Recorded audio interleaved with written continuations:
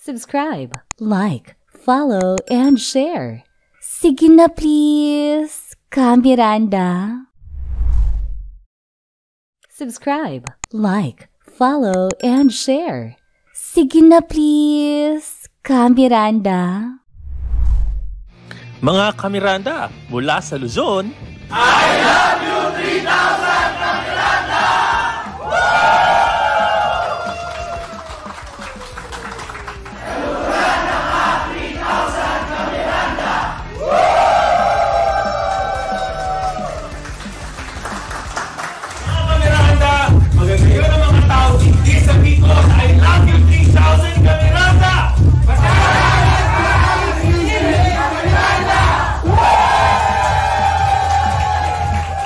At sa Visayas,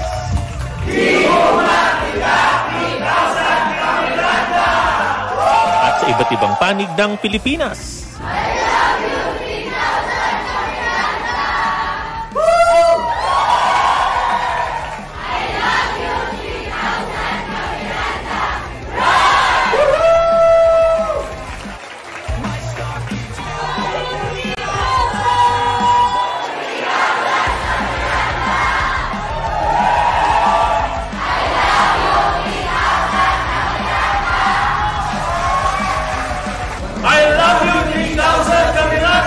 Ngayon sa buong mundo. Ladies and gentlemen, allow me to introduce to you the one and only, the voice that introduced Pitikin kita sa ilong, isang hampas na lang ng palakol, the power of yet. Please, let's give it up to our pambansang crypto coach, Coach Miranda Minor.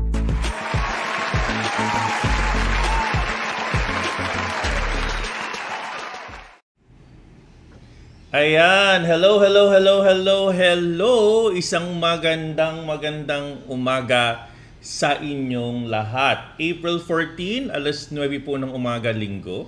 At samahan niyo po ako para magkaroon ng emergency live habang ah, umihigo po tayo ng napakasarap na kape. Ayan, ito yung kape ni Coach.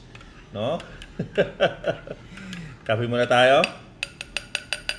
Masarap ng kape. Good morning, good morning.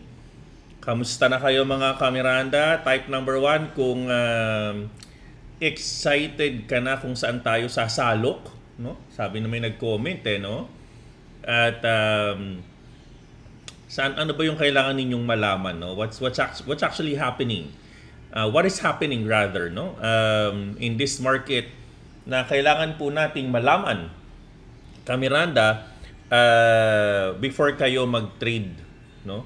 Pag-usapan natin 'yan. All right. Sa mga Oy, meron tayong estudyante no na nasa Israel. Uh, kwento ko lang no kasi itong estudyante natin nasa bootcamp siya kahapon. Uh, may bombahan na nga daw po nangyayari doon, eh, no? Ingat po kayo diyan, mag-iingat po kayo sa Middle East, no? All right? Wait lang.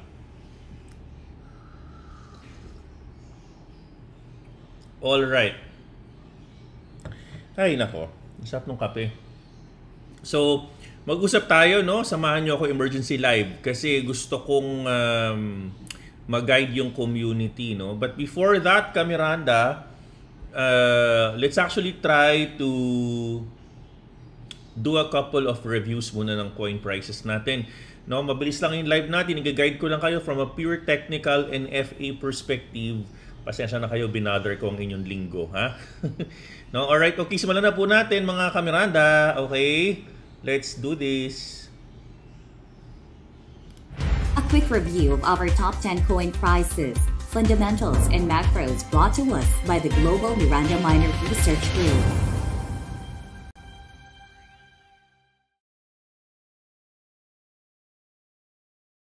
Technical analysis for the crypto market traders live with Coach Miranda Minor.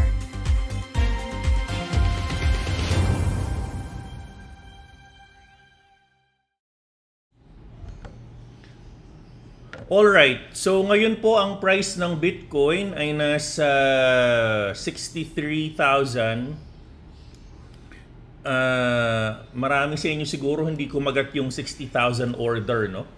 Ah, dapat profitable na yun ngayon. Pero that's okay no kung na-miss nyo yan. Listen lang kayo sa live natin. Bitcoin 63,922, Ethereum 2998. Bagsakan po lahat ng mga alternative coins eh no. Ah, Solana 139, BNB 550, uh, XRP 0.47, uh, Dogecoin 0.15, Toncoin 586, Cardano 0.445, AVAX 3376, SHIB Inu at 2114, BCH 470, Polkadot 635, Tron 0.10, Chainlink 1323, Matic 0.64, ICP 1221, Litecoin 7667, Near at 5.13. So malamang yung mga altcoins ng karamihan sa market pula ang spot uh, wallet ninyo, no? Uh, pula yan kasi ang pangit po almost negative no for uh, 20% for the past 30 days.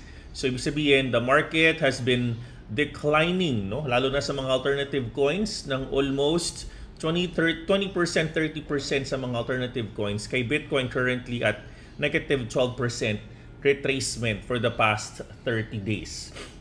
Okay?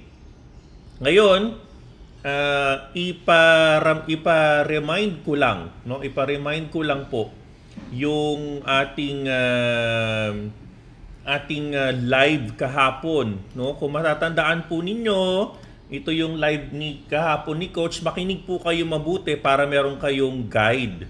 Let's all listen to this, Kamiranda, okay? Makinig pong mabuti ito. It will not go down here anymore.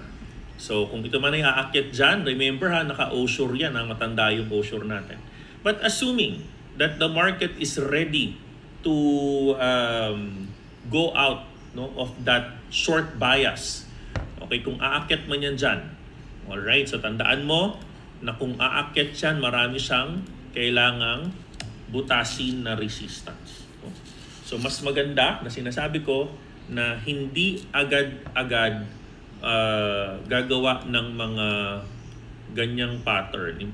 Magpangit yung ganyan. So kailangan mas maganda na gumawa man siya ng pattern, gawa ng equal highs, equal lows, para pagbasag niyang isa pa, mas meron kang conviction. Gumawa kasi siya ng equal lows or equal highs, no? So kung ito man ay gagawa ng unusual move, kung ito man ay aakyat, babasagin niya yan. So be Listen carefully sa sinabi ko dyan kahapon ha. Listen carefully. Mindful of your resistance. Please be mindful of your resistance. Tinuro ko yung 382 dyan. Kaliwa. No? Ito mga to. So, i-back test, i-forward test natin. Kung ito man yung aakyat. Okay?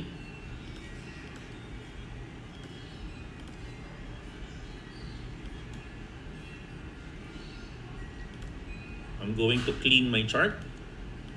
Hindi na siya gagamitin. Okay. Sabihin na natin ito ay mananalo, paakyat. Okay, unang-unang resistance mo, you need to remember is this. Pangalawa is your 382 or your 618. Tingnan natin. So 382 or 618, tingnan po natin. From your swing high to your swing low. Okay, may 618 within this area. So mukhang, mukha naman siyang valid. Okay? And then you have your 382 within this area. So 382 at 68022. So tingnan niyo po yung tatlong puti na nilagay ni coach no kung unusual yung takbo ng market, maging maingat pa din tayo kasi nga nag-TLSBD yung market. Ito po yung nangyari kahapon. So, i-backtest natin. Valid yung kanyang mga price. Okay? So, alright. So, i-backtest natin mga kamiranda or ano pong nangyari dyan. Kung i-backtest natin, uh, let's now go with our technical analysis.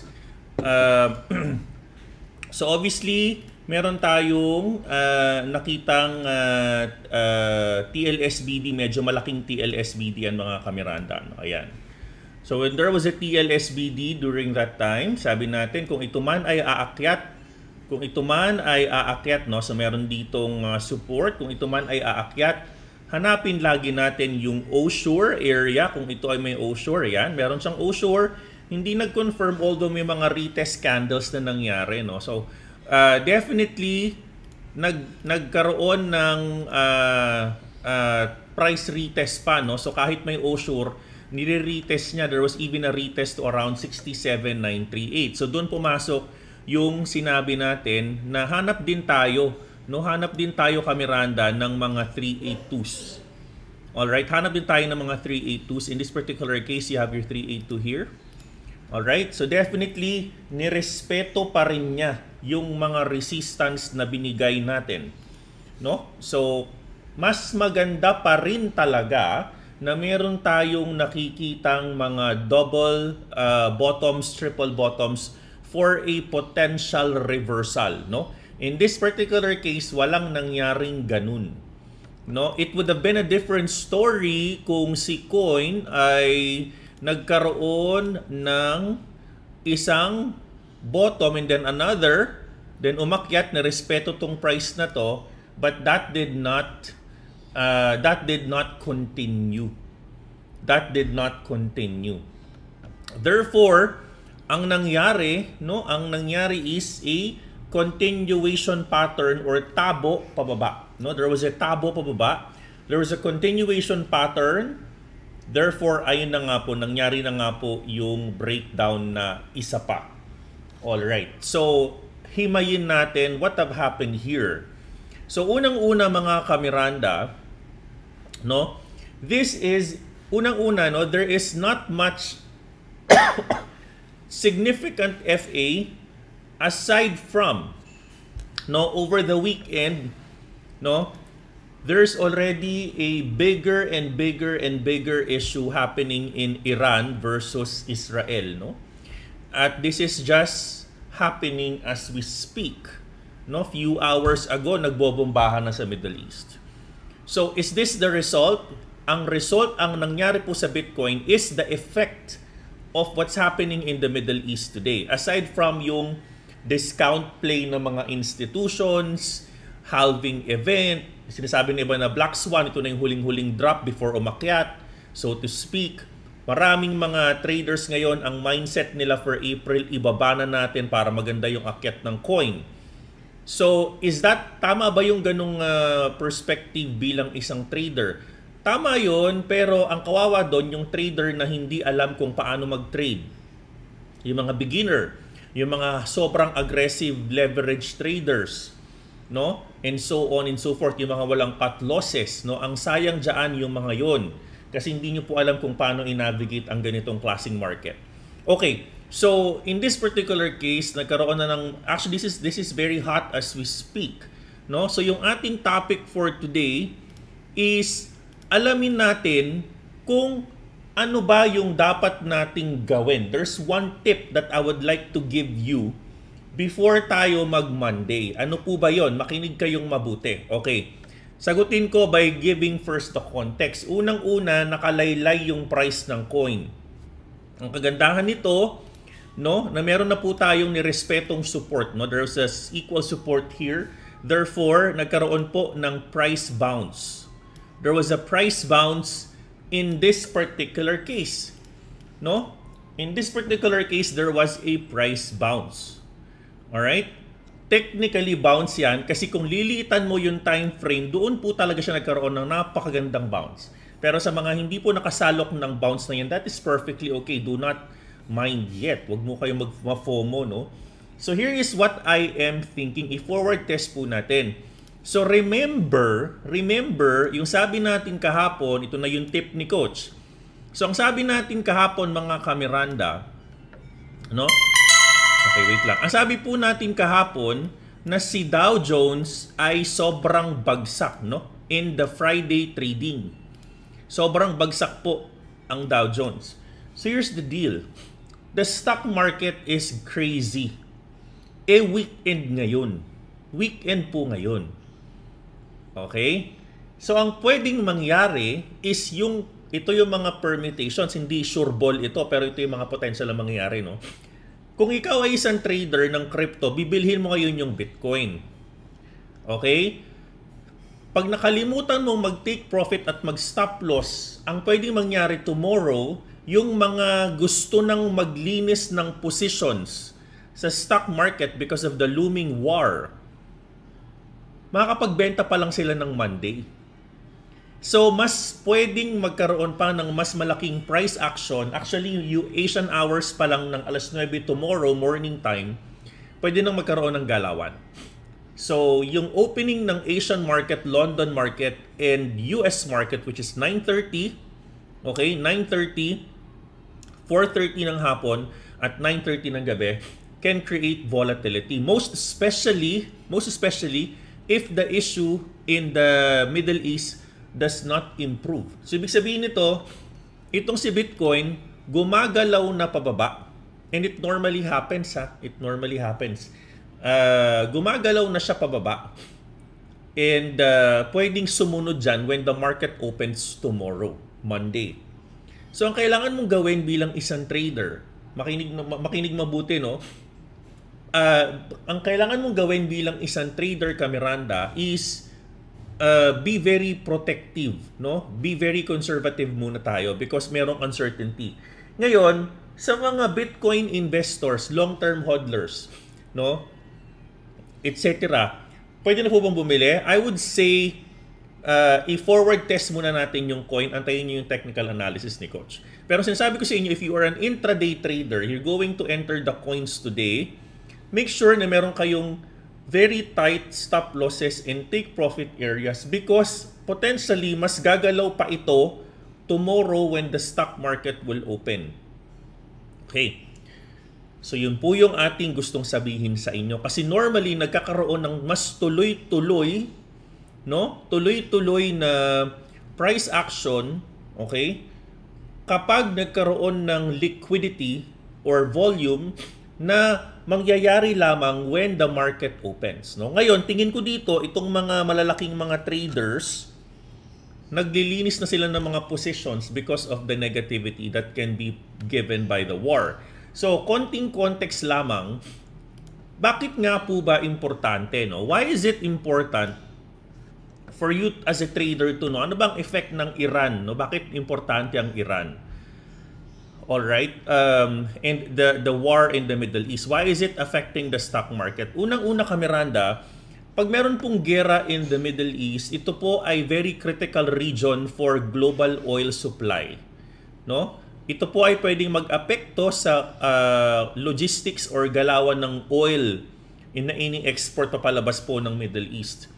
So, ang ang Middle East po is uh, is uh, going to create a lot of impact particularly on the dynamics no of the oil supply sa buong mundo. Kaya therefore kung merong Iran na issue na mas most recently lang mas lumalala at sumasali na naman ang US gustong pakialaman lahat no eh kulang na nga kayo sa pera no ang US kulang sa pera in fact nung nagkaroon ng gera uh, Biden was even asking the US Congress na ituloy yung tulong sa Ukraine if you remember that. No? So obviously there is an impact to the global oil supply. There's there could also be impact to monetary policy, no? Para palakasin ang dolyar, pwede nilang erase yung interest rates or pwede nilang i-delay yung cutting of interest rates para mas lumakas pa lalo ang dollar. Uh, and it can affect the Bitcoin price, no? Kapag merong ganong perception na if you're going to stop the or if you're going to raise interest rates to strengthen the dollar because may gera uh, is um, you know uh, it can affect the price of Bitcoin. There can also become a shift on investment strategy, no? So they can reallocate some of their positions, no, to lesser riskier assets, no, lalo na sa mga ganitong uncertainties.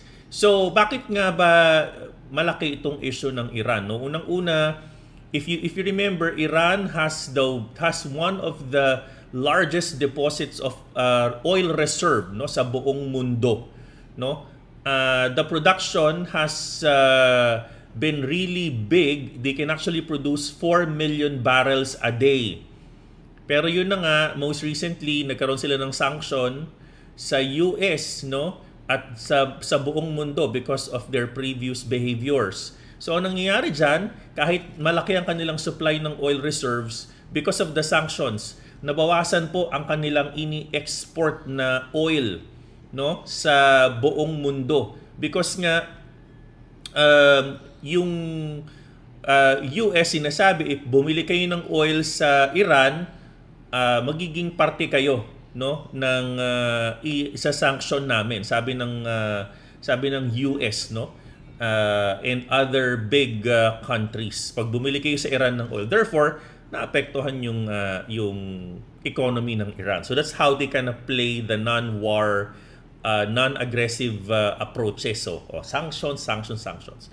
Ngayon importante ito kasi nga nagkakaroon ulit ng gulo no? Uh, more not I don't want to delve too much politics here but I'm just talking about the effect to the to the economy based on what's happening in the region. Now, listen carefully. Sa palagay ko naman bilang isang trader, if you remember nung Ukraine, nung Russia-Ukraine war, 'di ba? Uh, may katapusan lahat ng mga FUD na yan, you know? So, magi-improve at magi-improve ang market. No? Um, may mga uncertainty talaga ang pwedeng mangyari with the market, ang pinakamahalagang sagutin natin is saan tayo bibili. No? So excited na ako dyan. I-backtest na natin. Kamiranda, as I've said, gusto ko lang i-discuss kung ano ba yung mga drivers ng weekend ba't bumababa lalo.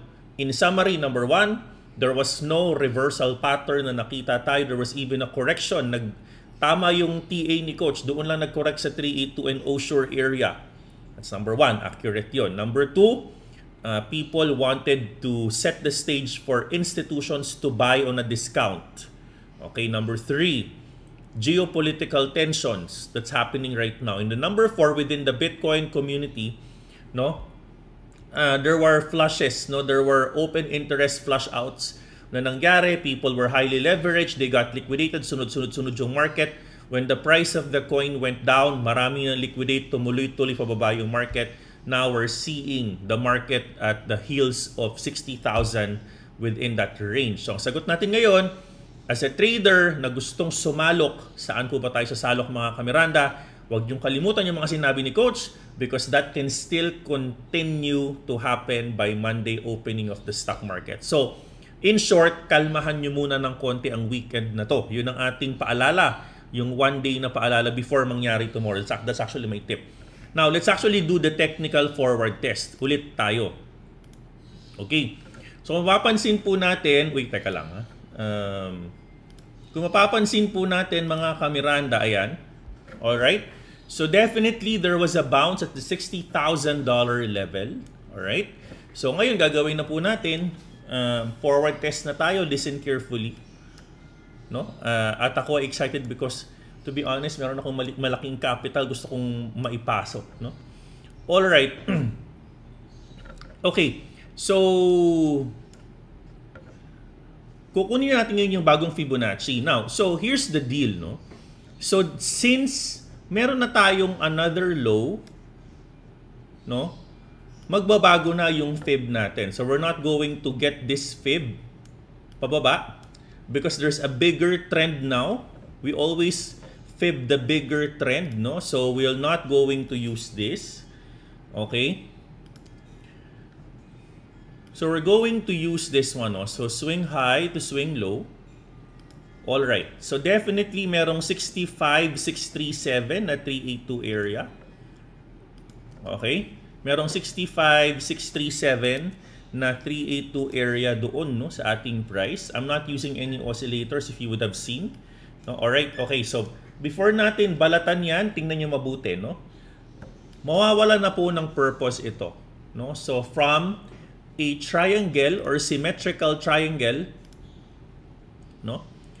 Ayan, there's a symmetrical, nagkaroon ng initial breakout, karoon ng pagbaba because uh, of many factors, iangat na natin siya doon, common tayo. So from that particular context na may triangle tayo ngayon, hindi na siya triangle ngayon, magbabago na siya. No? So take a look, tanggalin na po natin, it's going now to become a rectangle. No? Now, rectangles are known to be continuation patterns. No? Pero wag tayo magsaya agad because the continuation pattern can become a neckline. No?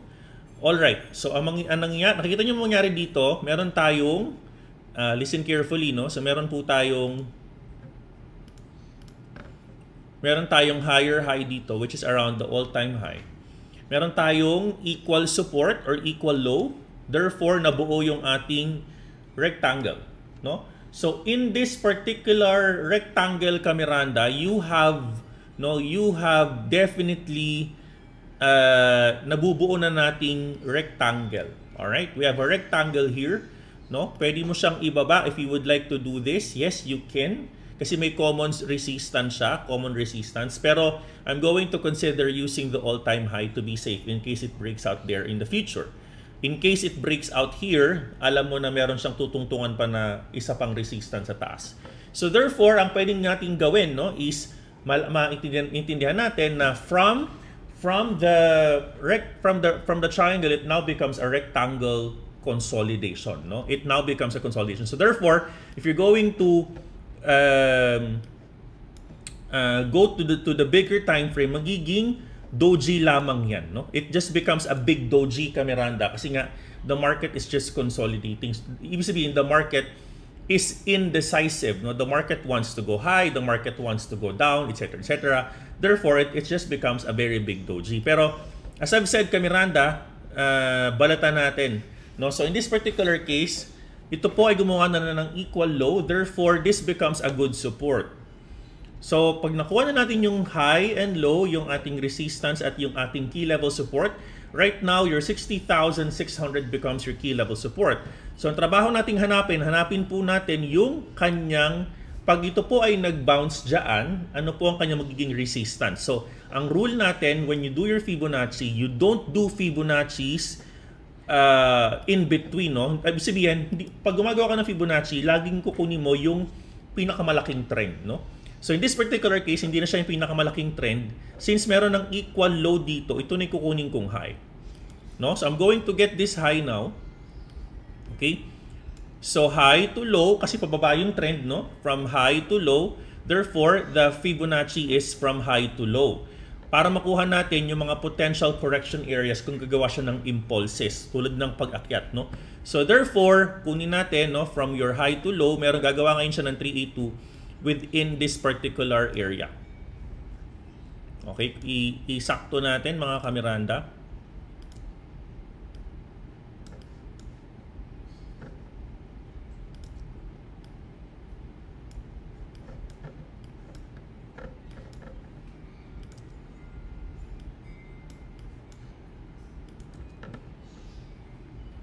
Okay?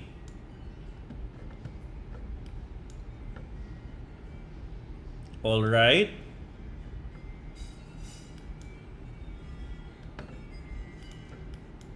All right. So in this particular case, you have your preview. So this becomes a an important OSHOR area or old support used as a resistance, no? This becomes, so i-zoom in natin, ayon. So therefore, meron siyang uh, uh, price rejections within this area. No? Ayan, makikita mo.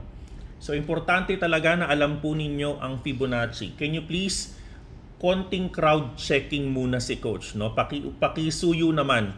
Sino po dito, type number 1, yung medyo magaling na sa paggamit ng Fibonacci's? Kasi kung papanoorin mo yung live ko kahapon, that's also what we use. No? Importante po na alam po natin ang gamit ng mga Fibonacci's na yan. Okay yan, no? So, doon din siya nag-correct sa 382, no? Can you please comment down below kung tingin mo magaling ka na sa paggamit ng fibs? Okay, gagawa tayo ng konting rule, no? Sa mga hindi pa magagaling, listen carefully, no? Number one, number one, on a downward trend, downward trend,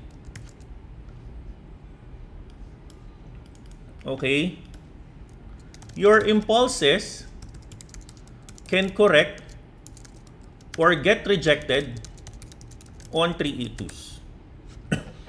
okay? On a downward trend, ibig sabihin nito, on a market structure perspective, kung pababa po yung price ng coin, okay, kung ito man ay gagawa ng impulse, it's always going to be 382s.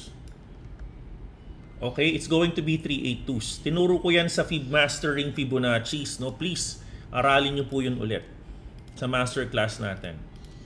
Now, if the trend is upward, on an upward trend, upward trend, okay,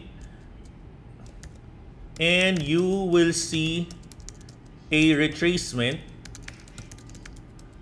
the higher low can bounce at 0.618. Okay? So, ibig sabihin, kung, kung paakyat naman ito, kung ito po ay aakyat, no? From higher, yan, paakyat. Kadalasan, itong mga bounce na ito, lakihan natin ng konti. Kadalasan ito mga bounce na ito from here. Itong mga bounce na to can be a 618 bounces. Okay? So please take note of that. Your 382s and 618s are going to be your best friend in trading. Parang yung kahapon na sinabi natin, nung pababaan, pababaan, pababaan, pababa yung coin, be mindful of your 382s because doon siya pwede magkaroon ng correction. Alright, so in-establish na natin na valid yung paki-take note po ah. Okay, wait lang. Sige, screenshotan nyo na. Para, para matandaan nyo yan if you're taking down notes. So on a downward trend, your impulses can correct or get rejected on a 382. On an uptrend, your retracements can bounce or your higher lows can bounce on a 618 area. Now, so na-establish na natin, paliitin natin yung mundo niya. We're now able to establish, tanggalin ko na itong mga to.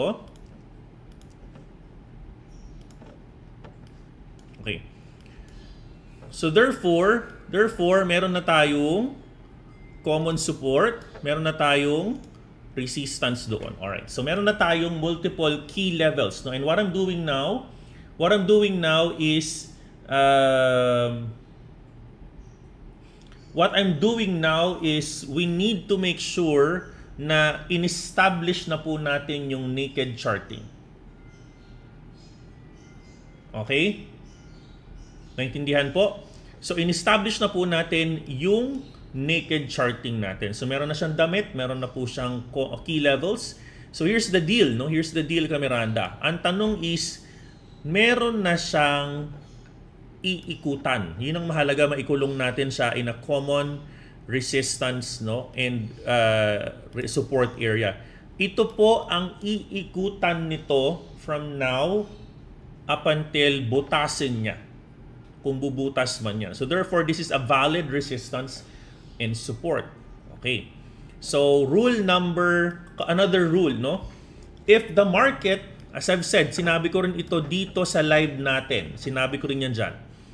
No? If the market is on pullback, so there's an anatomy. No? Anatomy. Anatomy. Okay. Okay. Sa anatomy, Kamiranda, if you have a market pullback, Okay, do not buy or uh, wag saluhin ang red candles. Do not catch falling knives. So anatomy, pag nagma-market pullback, you need to look for support. Okay. So nag-support na siya, common support ito. Common support ito.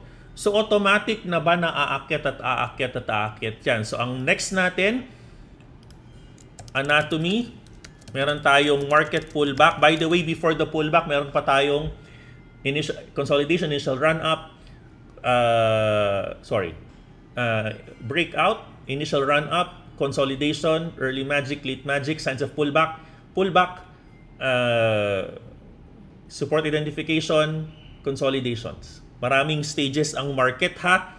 Ngayon, nasa market pullback tayo. So now, support identification. Once you identify the support, an accumulation can happen. Accumulation or conso can happen. Automatic na po bang ito ay aakyat? Pipitikin ko kayo pag automatic. Hindi. Ano po yung signs of consolidation? When can it change? When it can change? When can it change the behavior? Hahanap ka ng bukaka pattern, no? There should be a neckline. So in this particular case, in-establish na natin na meron tayong neckline here. Okay, meron tayong neckline. So unang-una, neckline 1. 1. Okay. So meron na tayong neckline. Sabi natin, kailangan nating bumasag paakyat. And but the same time, this is also a 382. also 382. Therefore, gagawin natin, sana mangyari, no, this is what I would wanna happen, isa pang retest market please. I-retest mo pa si 60,000, then saka mo na iakyat ng isa pa para mas valid ito. This one becomes a, a great reversal pattern. Okay, I wanna see a reversal miss market because kapag tumuloy-tuloy pa ito bukas, kasi yung market is already oversold. No? Oversold na po yung market nasa RSI 33 na tayo sa 4-hour pattern, no? So, big picture red pa din siya. As I've said, huwag niyo munang saluhin. Mas gusto nating basagin yung neckline within the 65,000 para kampante ka na na pwede na siyang umakyat. Either otherwise, ito ay maglalaro lamang within this particular rectangle. Type number 1 kung nakaka-follow pa so far or nahihilo na sa sinasabi ni Coach. Pag nahihilo na, ibig sabihin mag-aral na po kayo ng trading. Okay? So, tingin ko kailangan niya muna dito yung i-consolidate. I-consolidate mo Miss Market. Ngayon, ang potential na pwedeng mangyari. Okay. So, a potential ha- what will what can happen? So, if ifib natin, swing high to low, meron siyang 0.5, 0.382 bounces. Okay? This is nothing. Walang kwenta itong mark candle na to. This is a consolidating candle. This is a sideways candle. It can either go high or low.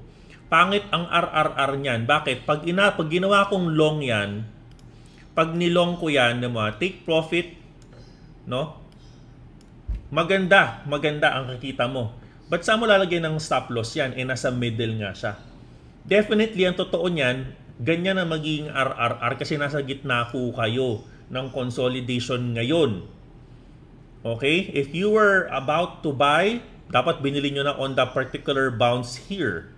No, take profit on 382 pero nasa gitna na kayo, wala nang kwentang RRR. Therefore, ngayon sa puntong ito kumalma kayo if you're an intraday trader. Ngayon, so ang gusto kong sabihin dito is this, no? Ito yung gusto kong ito yung iniintay ni coach, promise. Iniintay ko to, ang tagal ko nang inintay.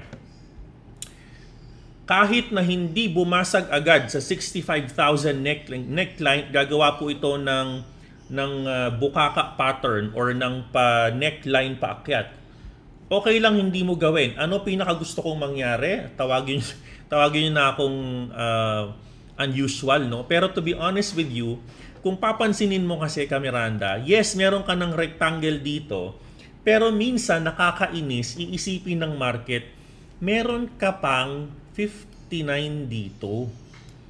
So ang pwede pang gawin ng market is ibaba mo na isakto mo ng mas magandang rectangle yan.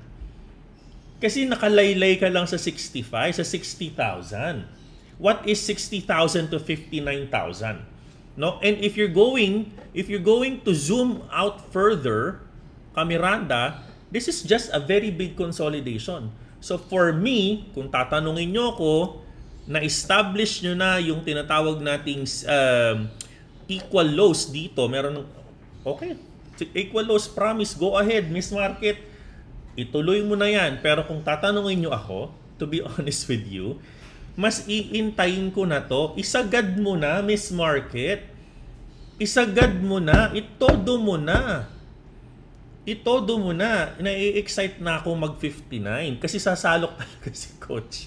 Diyan. No? At mas magan mas komportable ang market na makuha niya yung 59 na yan kasi yun yung previous low niya eh. On, on, on the bigger consolidation pattern, yun po yung pinaka-low niya. Yung 59. Isagad nyo na, Kamiranda. ba? Diba? Wala namang, technically, wala naman pong difference ang 60,800 to 59. Isagad na natin. So, ang talagay ko dito, dalawang potential mangyari. Pure TA play. Okay? Kapag tumuloy-tuloy ang Monday, at negative ang open, listen carefully ha, pag negative ang perception ng market dahil may gera, a 59 can happen. Ibig sabihin, yes, magko-consolidate siya this weekend kasi walang volume. Magko-consolidate. Hanggat wala ka nakikitang neckline pattern, kumalma ka sa kakalong. ito yung iintayin natin, yung mas magandang breakout dyan. And if, they, if that breaks out further, okay, be mindful of your correction place. No? Kasi nga, uh, nagaantay pa tayo no, ng, uh, when I say be mindful of correction place, take profit agad pag nag-break out. Paano ka kukuha ng mga take profit lines? Find your equal, find your resistances. Kung ito man ay magko-consolidate, fine, mag-consolidate ka, wala akong, wala akong uh, problema dyan. No, I'm going to wait. So ang gusto kong gawin ito because it's actually on a on a uh, you know doji pa, doji candle consolidation candle okay lang hindi ko na hindi ko nasamahan itong pump na yan that's fine I don't care no kung ito man ay gagawa pa ng isa diyan mas maganda pa nagkaroon ng sign of a bounce papasukan natin yan but kapag ito ay hindi nagkaroon ng signs of a bounce there another retest of a 59,000 can happen I am well good with that. Kasi if force natin yung tinatawag nating mas magandang right hand, no? So if this happens, no, if this happens, kung kukunin niya itong receive itong support na to, therefore it will now force a right hand Kamiranda. It will now force a right hand. Paano 'yon? This one and this one. It's going to force a right hand. I, I'm okay with that. That's perfectly fine for me. No? Ayan, no? So this one, all right, and this one. No, I'm going, I'm, I'm, I'm perfectly fine with that. So, so if it happens, then it, it is what it is, no?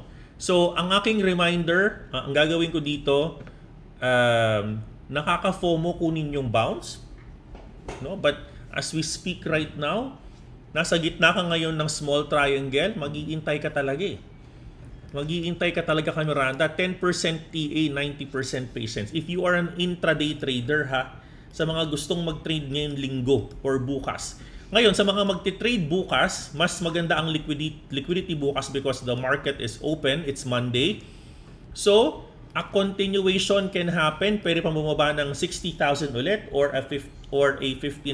But, pag nagkaroon na tayo ng isa pang uh, neckline, no? you have 1, So dito medyo komportable na ako dyan because meron nang binasag na multiple uh, touches on the 382 which is 65 651. Okay? All right. Okay. Now, isa pa po, makinig po mabuti, no? So, definitely kung atin pong i-zoom out yung market, okay? Zoom out natin. Ay, ito mabuti, no? Definitely, you're going to see. So, we are, we are on almost, you know, a very, very, very uh, interesting pattern. Kasi nga, it's forming a triple top. No? E, kung, kung titignan mo mabuti, look at it carefully, no? It's forming a, in a big picture, on a big picture, okay? It's forming a triple top. Okay? So, hindi ko sinasabing historical performance will repeat. Okay? But this is very, very, very important. No? This is very, very important because you're going to see the same patterns on the tops. Hindi ko sinasabing mangyayari itong mga nangyaring na bababa, bababa, bababa. Okay? Hindi ko sinasabi yon Because may mga FA drivers yan. Ito yung inflation at gera. Gera inflation in Russia. Ito, China banning. China banning yan. Itong pagbaba na yan. China banning and Tesla selling Bitcoin. So, I'm saying that ang potential na pwedeng mangyari since we have since we have an uptrend, okay? We have an uptrend. This one, while it is showing while it is showing that it is actually still a rectangle today with equal highs, equal lows, pwede pa din niyang i-bounce yan paakyat. This is still a possibility. This is still a possibility. Okay? Kasi sinasabi lang natin that following our technical analysis, i-fulfill mo na market yung pure consolidation play, i-equal high and equal low na natin. No? Para mukha na talaga siyang rectangle. Continuation pattern na tayo. Ngayon, kung hihimayin natin, kung ito man Huwag naman sanang bumaba pa ng 59 breakdown pababa. Kung ito man ay magne-neckline, so therefore, Kamiranda, This is a valid support now. Meron ka ng almost triple top na nakikita dyan. Okay? So every triple top, 1, 2, and 3. This one becomes a neckline because may equal lows na dyan. Kung ito man ay susundot pa pababa, i-respeto nyo itong support na to. Okay? This one can bounce. For the rare instance, for the rare instance na ito po ay bababa pa, kukuha na ngayon tayo ng mga Fibonacci sa ilalim. Okay? We're going to get some Fibonacci's. Itong most recent swing na to, pwede itong kuhaan. Ito malayo na to, no? It's actually very, very far. Okay? Kukuha ngayon tayo ng mas malaki parang mas may conviction from your low to high. I'm just going to double check. Give me a second. Okay. 50,000. 382. We're good. All right. So you're 59, no? There's obviously a Fibonacci support here, no? There's a Fib support of 59,919. So valid yung support na yan. So isagad mo na, Miss Market, ituloy mo na. No? Wag mo na kaming ipa wag mo na kaming ipa-intay pa. All right? Ayan. So that one can become your retracement point. That can become a point where a bounce can potentially happen. Ngayon, wag kayong masyadong ma-FUD. No? We're waiting for price and the market behavior to happen tomorrow. So ang gawin natin, so it's forming a triple top, neckline, hintay tayo. Because at the same time, at the same time, kung triple top man yan, ang pwede rin, ang pwede rin gawin ng market is, pag inakyat niya to, pag inakyat niya ngayon yan, this becomes a double bottom. Okay? This becomes a double bottom. Pakyat. Pwedeng bumubuelo lang yung market. You still need to remember, institutions are buying Bitcoin. In this particular time, there were no institutions buying Bitcoin. In this particular time, there were no BlackRock buying Bitcoin. So while it can present medyo panic moment o pwedeng matuloy, baka maulit yung mga tops before, we're still going to wait for the market price. Besides, wala naman tayong position today. Nagiintay nga tayo ng bibilhan. Nagiintay nga si coach. Kailangan isagad mo na sa 59. Pag nagkaroon ng magandang bounce doon, then bili tayo. Either way, we're going to wait. Nakatulong po ba? Ang dami nating viewers.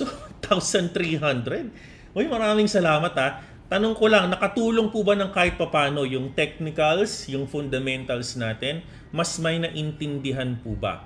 Kailangan ko tong ituro kasi bukas ay lunes. Ang tanong natin sa live thumbnail, ano po ang gagawin? Ano ba yung isang tip na kailangan mong malaman? Ito po yon. Kasi bukas mag-open ng bigger market, pwedeng magkaroon ng continuation because the liquid, the, the volume can be there. The stock market can panic Therefore, we need to establish yung $59,000 na support. Okay? Alright. So, wag tayong, maraming institutions ngayon.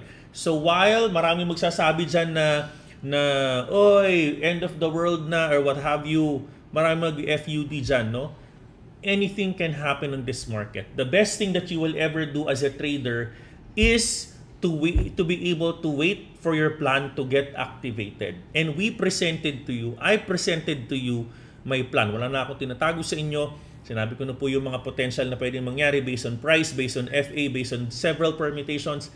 Sana nakatulong no before kayo mag-trade this weekend. Okay. Okay? All right. Maraming mga bali-bali-bali-balita, Kamiranda o, kape, wait lang, kape lang. Isang higop na kape lang. Okay. All right. So, as I've said, Kamiranda, in summary, 59, support. 59. Yung trying itong rectangle na to, this is becoming, this, this is going to be your support. No? Kunin natin. Alright? Let's make sure alam na po natin yan na yung ating pattern for today. Like what I've said here, no? You don't catch the falling knives. You wait for a reversal patterns to happen, 382s to be broken. Be mindful of that, Camiranda. Pure technical play yung pinaresent sa atin ni Coach. Okay. Ayun. Ang daming viewers, no? Uh, maraming salamat sa panonood, mga kamiranda. Okay, basa lang ako ng mga comments. Sabi ni Yune, I'm actually going to wait for a discount. Pwede, oo, pwede rin yan. Walang anuman, maraming salamat Joseph. Ayan.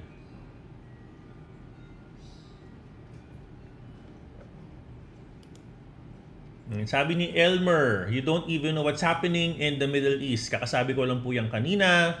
Magulo dyan. Uh, if you're late, paki-rewind na lang ang ating live. Alright.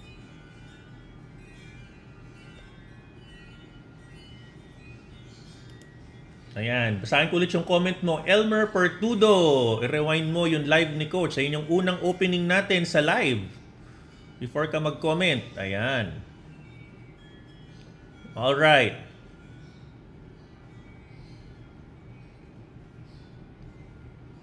Sana maka sana iyan ay makapag-balanse ng negativity. Tingnan po natin. Oo nga. Ingat po kayo diyan sa Middle East ha. Nasa Middle East ba kayo TJ? Nasa Middle East ka ba? Ingat kayo diyan ha. Meron tayong estudyante diyan. Ingat po kayo. Ingat, ingat, ingat. Okay? Wala pong anuman. Thank you, thank you, thank you. Uh, pwede rin sa Asian market. Meron na yan tomorrow morning. Oh, let's wait on what the, the, the Asian market will tell us. Medyo tingin ko nga mas pwedeng apektado ang Asia, mas malapit tayo sa Middle East eh, no? Okay?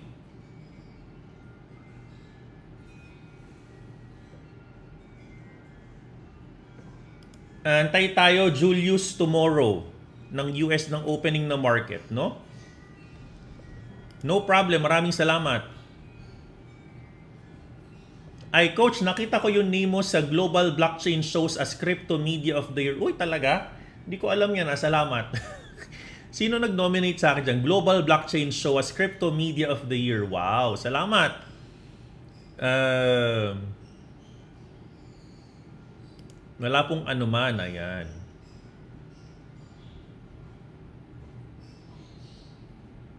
O ingat kayo dyan, ingat kayo sa UAE ha. Ingat po, ingat, ingat po kayo dyan. Mahirap po ang nasa lugar ng mga nagbobombahan po. No? Uh, yes, correct. You can apply Fibonacci's. No? Sa, tingin ko marami natuto. No? Can you please type number 2 sa mga bagong viewers natin na naa-amaze kay Fibonacci's? Sige nga, can you please type number 2 po? At uh, para mas alamin nyo pang gamit mo, napaka-powerful ng Fibonacci's Camiranda. Okay. Scalp shorting, nasa gitna ka pa lang ng rectangle ngayon, create ka ng pattern dyan in betweens. No? Yun, para makapag-short. Okay? Kasi kaka-bounce pa lang niya doon sa 60,000. Okay? uh, I to be honest, Glenn, hindi ko think I don't think bear market eh. This is price uh, discount. Ando mas mas predominant pa din yung theme yung theme ng halving ng institutions buying Bitcoin eh. Kasi yung mga institutions, they're not gonna be buying Bitcoin na patalo You would imagine mga mga mayayamang tao sa mundo bibili ng mga assets na patalo, tatalo nilang nila yung pera. Of course not, 'di ba? So this is going to become a usual you know, price uh, movement na kailangan lang nating bantayan, Kamiranda. Ang aking bias pa din ay aakyat pa din 'yan. No, long term. This is just a pure FA, you know. Ngayon kung malakas ang loob nyo, bumili kayo, ako bibili ako ng 59 and 60 bibili ako dyan, no? spot lang. No, discounted na yan eh. From 73. No? Okay? Patience is key, sabi ni Archie. Ayan. Oh, maraming nag number 2. Ayan. Ah, nalilito sa Fib. Ayan. Okay. Pero marami pong na-amaze kay Fibonacci. Nice. Okay. Marami nag-type na number 2. Salamat. I'm, I'm happy you guys are Okay, so from now on, ang alam, makinig kayo kay coach, ginagamit ko lagi si Fibonacci para ma ma-reinforce yung knowledge po ninyo. Okay? Ay, may kamukha daw ako sa Team Payaman. All right. Okay. Ayun. Ah, hello sa bagong student from Dubai. Ayan.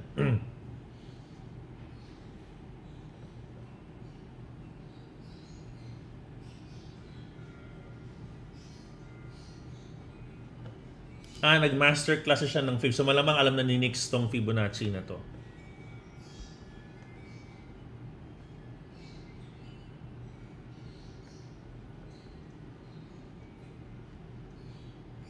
Ah, some some traders are waiting for a drop pa.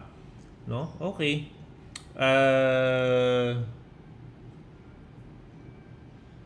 ah, anong okay yung recent high? Okay. Okay, this is a very very good question. Gusto ko tong question na to, no? I-demo ko ulit para mas maintindihan po, ha? Para mas maintindihan mabuti, i-demo ko lang ulit, no, Kamiranda? Please, please, please, please, please, please, makinig pong mabuti.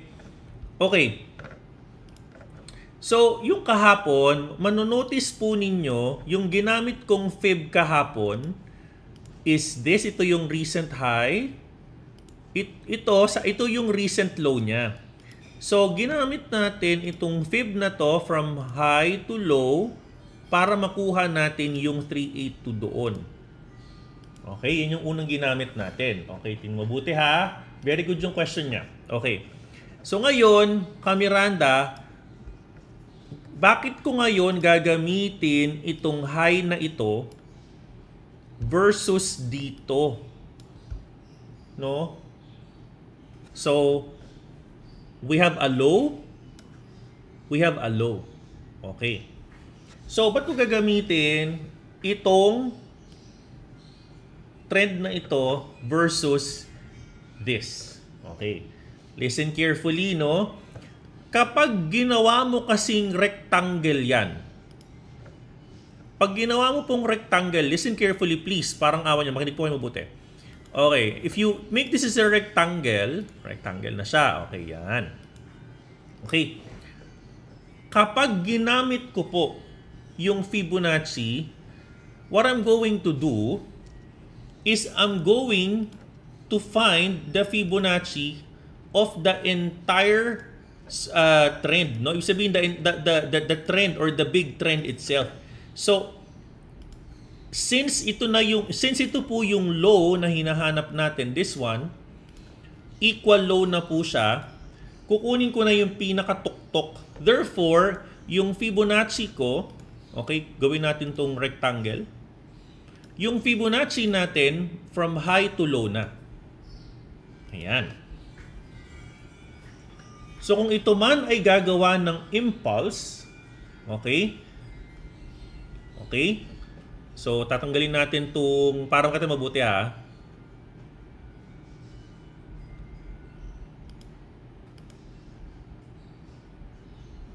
Yan natin ito ng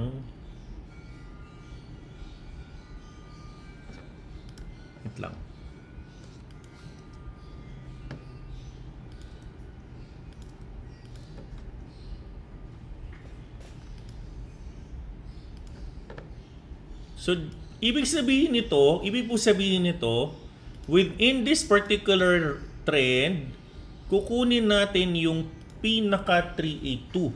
Kasi, kapag ito ay aakyat, hindi na natin i-consider ito. Hindi na ito yung tuktok natin. Ito na yung tuktok natin. Okay? Alright? So kumbaga, within your big rectangle, may mga smaller trends ka dyan. Smaller trends. So pag kukuha kayo ng pinaka-accurate na Fibonacci, kapag merong consolidation pattern, yung buong rectangle na ang ifi-Fibonacci ninyo. Kasi ito ngayon yung low, equal low na, pero hindi naman siya equal high. Kukunin nyo yung pinakatuktok. Kasi this becomes just part of an even bigger trend. Okay? Mas naintindihan po. Very good yung question mo. Thank you for asking Kuya or Ate Mike. No, good question yan ha. Thank you for reinforcing that question. Buti hindi ko nakalimutan. Okay. Ayun. Ayun, nakaka-amaze na. Currently on the beginner class. Okay. Uy, salamat sa mga 1,000 plus na estudyante natin, no? Okay? Correct. Tama yon. Kunin natin yung tuktok kasi the trend, that, para hindi kayo malito, from a, from a trend, kunin nyo, kunin nyo lagi yung pinakatuktok at yung pinakababa. No? Yung pinakatuktok at pinakababa. Another thing, another thing, another demo natin. Okay, wait lang ah. Another thing kasi nagustuhan ko yung tanong eh.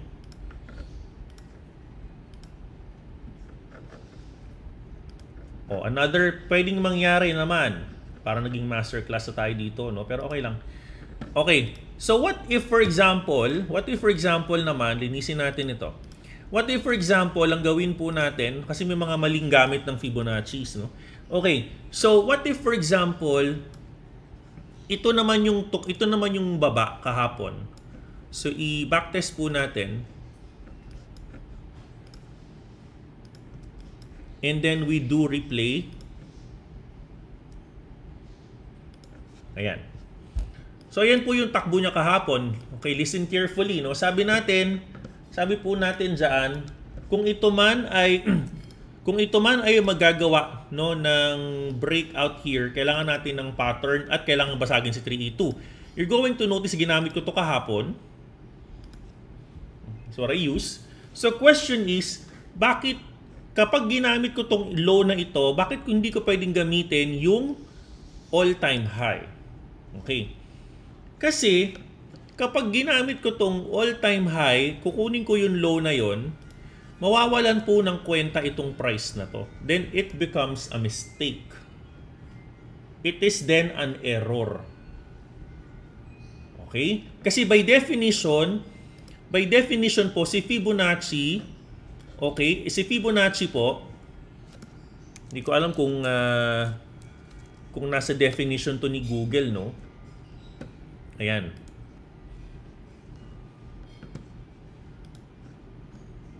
Okay. So yung kanyang porsyento is 23, 38, 61, and 78, and 50. No? So, it is a percent. Ito po ay porsyento. Ibig sabihin, merong 0 to 100. So merong 0 to 100.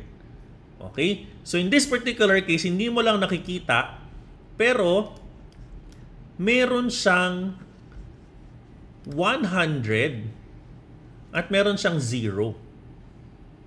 So para makuha mo yung totoong retracement levels na hinahanap natin, kailangan makuha mo yung totoong 0 to 100 ng trend. So in this particular case, yung 0 to 100 nung trend na hinahanap mo, itong up, itong downtrend na to, yung 0 to 100 niya on that particular case is ito. Meron siyang meron siyang sinusunod diyan, no? Na na na Fibonacci's. Okay. Bakit hindi pwedeng ito? Eh, ito nga yung hinahanap nating impulse. Okay. So ngayon, since nabuo na yung ating pattern, nabuo na siya. Okay. Nabuo na yung nasa ilalim. Yan. So this, this now, this now becomes your 1, 0 to 100. No? This now becomes your 100. This now becomes your 0. Therefore, kung ito man ay aakyat, sinasabi natin, i-correct ka lang ng 38.2. So para maging accurate yung 38.2, dapat tama yung 100 and 0 mo. dapat tama yung 100 and 0 para maging accurate yung 38.2 na mini-measure mo. Kasi ito ngayong ito yung mini-measure mo, ito yung area na hinahanapan mo ng retracement at ng impulse levels. Ito yung buong rectangle. Kailangan makuha mo yung 100 to 0 niya. If you would like to know kung saan magkakaroon ng retracement it or rejection itong impulse na to. Okay? Naintindihan na. Naku, ang sarap mag-aral ng Fibonacci. Sinasabi ko sa inyo. Tsaka kagandahan ni Fibonacci Camiranda. Makikita mo talaga siya. Makik alam mo, dyan ako na-amaze kay Fibonacci. You know, kasi it's, it's a mathematical uh, it's a mathematical infinite infinite mathematics eh. So, uh, maganda siyang aralin. Nakakatuwang aralin yan, Kamiranda. Nako, na-amaze kayo dyan. Siguro next time ko na lang i-discuss yung mathematics behind Fibonacci. Okay. Okay, naintindihan po ba? Naintindihan na. Okay, all right. O sige ka Miranda, no? So let's uh, let's try to uh, ah, teka nawala yung mukha ni coach. Wait lang.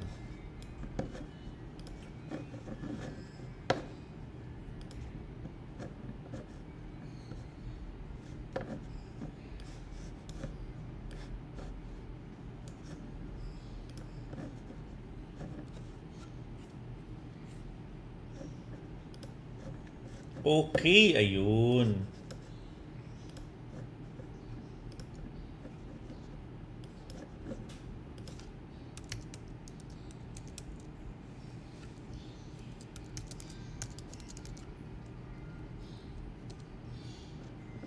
Ito, oh, anak ko, ang sarap hanapin.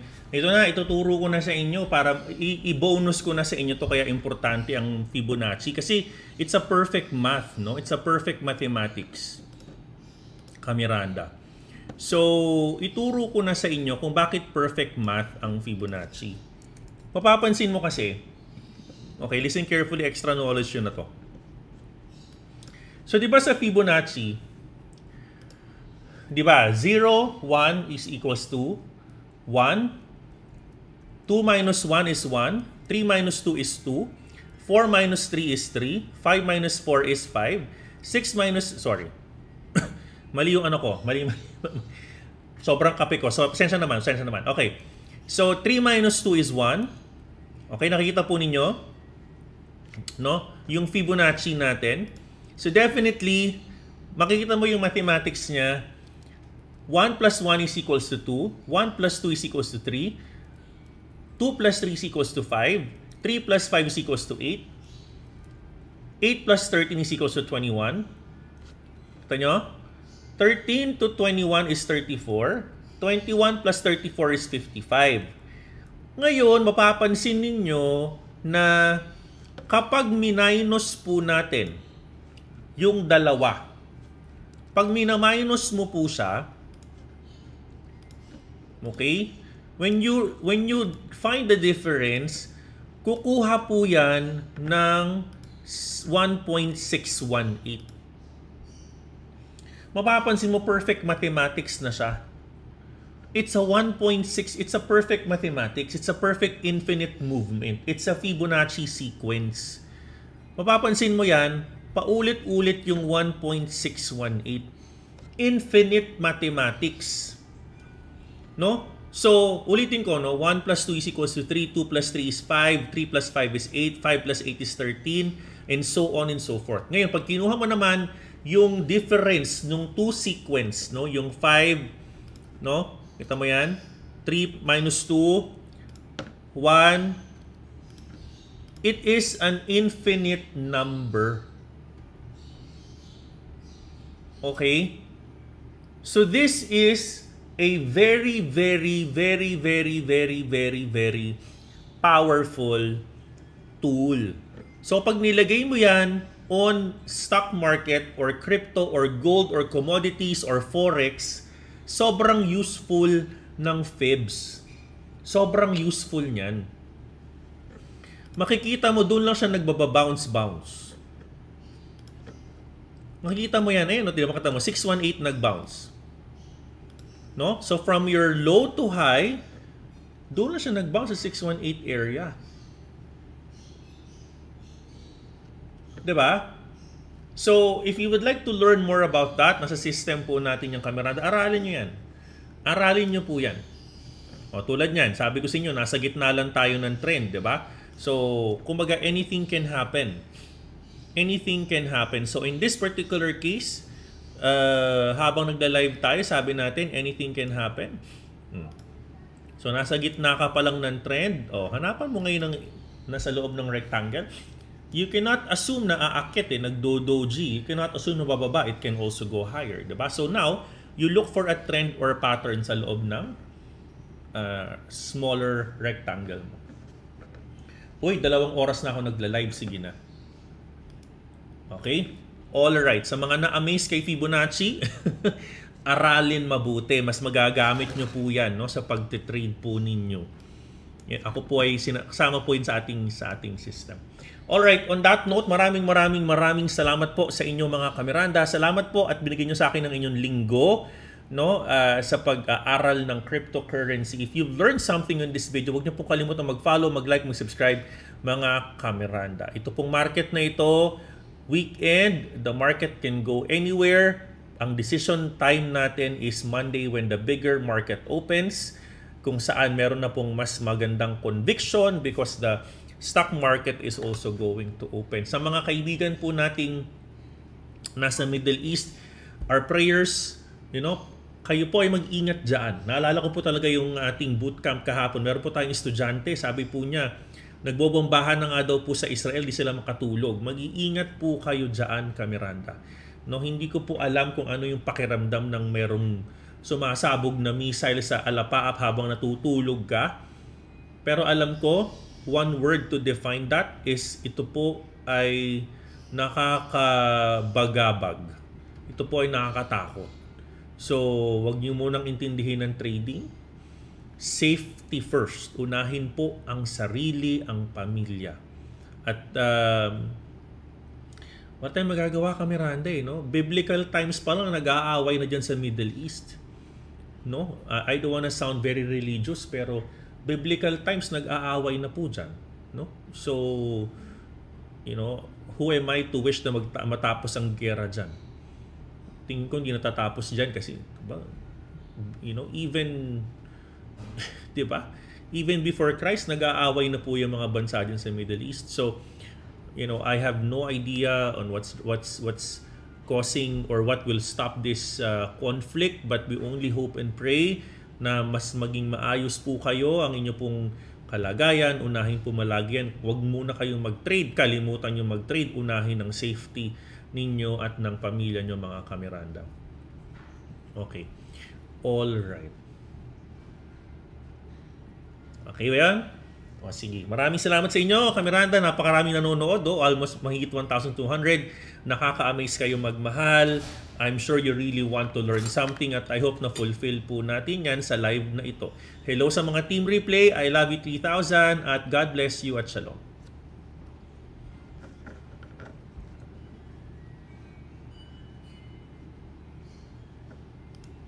Hello mga kameranda, maraming salamat po sa inyo dahil tinapos yung ating content for today. Kung kayo po ay merong natutunan at tingin nyo ang inyong mga kapamilya, kamag-anak, kapuso, kapatid ay makikinabang sa ating content, please don't forget to click on like, subscribe, and of course, i-follow nyo na rin kami sa aming mga social media channels mga kamiranda. Ito po ay makakatulong para we can further disseminate our content to the larger population. Muli, maraming salamat po. Shalom at I love you 3,000. Subscribe, like, follow, and share. Sige na please, Kamiranda. Subscribe.